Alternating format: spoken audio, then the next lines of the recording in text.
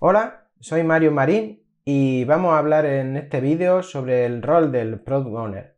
Eh, yo he sido Product Manager, estoy trabajando de Product Manager y he pasado por Product Owner y estuve gestionando equipos eh, mucho tiempo. Entonces vamos a hablar de, esas pequeñas cosas, de esas pequeñas peculiaridades del perfil del, Product Owner. El Product Owner, tal y como lo define la guía Scrum, eh, sería una persona encargada de, bueno, de, gestionar el valor del producto. El objetivo del Product no es más que maximizar el valor del producto.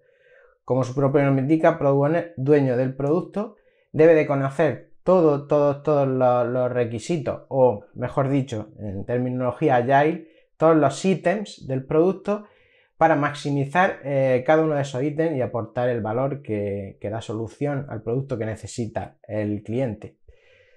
Eh, por un lado, como comentaba, el Product Owner, el, 90% de su tiempo eh, debe de estar obsesionado por, maximizar el valor del producto. Hablamos productos siempre como, como una solución que aportamos al cliente. Quiere decir, un producto puede ser un, servicio que nosotros damos, como de paquetería, de llevar un paquete de un sitio a otro, o un producto puede ser una página web donde informemos de una cosa u otra, un blog puede ser un producto.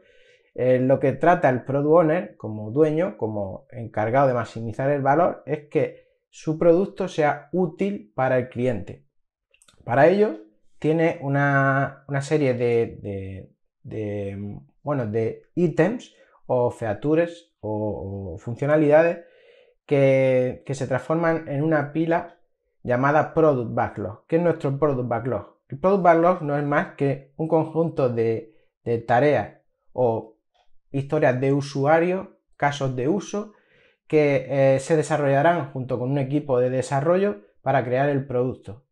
Eh, ¿De dónde viene este producto? Pues bueno, este producto puede venir de un stakeholder, de una idea, de un producto que se necesita evolucionar o de algún problema que hemos detectado que queremos, eh, que queremos afrontar.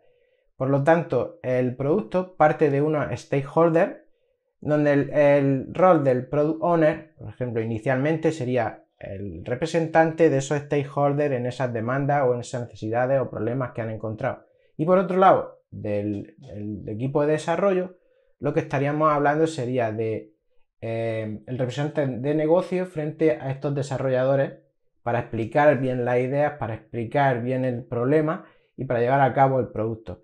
Em, el Product Owner puede pasar por muchas, muchas, muchas fases.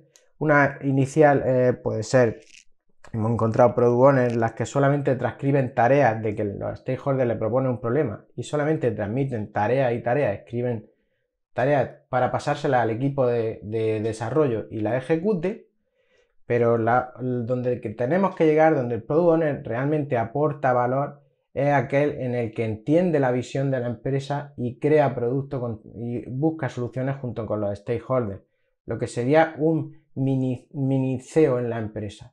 Donde realmente tiene sentido el Product Owner al final de su etapa en los distintos niveles de madurez es cuando el Product Owner se convierte en representante del producto. Ya no es solo una persona que transcribe lo que dicen los stakeholders, sino que participa, incluso crea productos y propone productos a la compañía. Productos que al final repercutirán en un problema, en la solución de un problema que se le ha presentado a su cliente y por tanto eso genera pues, unos beneficios y un retorno. Como podemos ver aquí, por dejar plasmado un poco la idea, el Product Owner trabaja básicamente con stakeholders, que son los que demandan, los que proponen, los que tienen, por así decirlo, la iniciativa, eh, con un equipo de desarrollo, que sería el equipo que ejecuta todos esos ítems y pone en producción un producto, y por otro lado, trabajando junto con un Scrum Master, como, como define la guía Scrum, que es el, el responsable de que todo esto se orqueste y colaborar en, todo, en todas aquellas facetas de Scrum mm, para al final llevar a cabo las reglas del juego. Hasta aquí este vídeo sobre qué es un Product Owner. Espero que te haya gustado. Si quieres seguir aprendiendo más sobre este tema, haz clic en el botón y accede al curso en Open Webinars.